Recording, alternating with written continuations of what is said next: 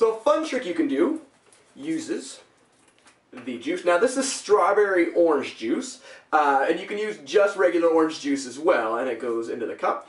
Now, if I snap my fingers, what that does, that makes the strawberry disappear, and that leaves me with orange. Like. Listen, guys, come on, seriously. I'm in dealer's room at uh, Korea Club's convention. Just saw Louie Foxx's Evaporation. Freaking awesome, dude. It's sunny, delicious, awesome. What does the D stand for? D stands for damn. That was awesome. like that was it was really good. I created the evaporation gimmick uh, about a year ago. Uh, in my show, I had a need to make liquid disappear. And what makes evaporation cool is you can actually handle the bottle. You can juggle it. Uh, it can sit on the table, whatever. You can knock it over. Uh, it won't spill as long as the lid's on it. Uh, unlike what was currently on the market. And the reason I didn't use, for example, a milk pitcher is a milk pitcher didn't fit the style of my show. I do a more modern show, and so using something like a, like a milk pitcher wouldn't quite fit in.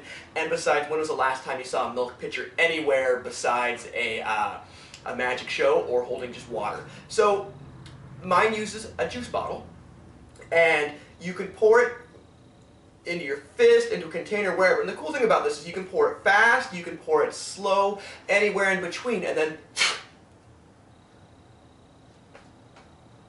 the liquid disappears or turns to whatever you want. A couple of questions magicians always ask me about evaporation. They say, can you pour the liquid out? Yeah, you can do like the Shimada thing and gesture and spill liquid. Uh, you can pour some out before uh, the vanish as well. Uh, and then you can make the liquid vanish. And then afterwards you can pour liquid out as well. Hey, I just saw Louie's evaporation trick. Uh, I write books on creativity and I create a lot of tricks. This is brilliant. You need one of these. I'm Barry Mitchell.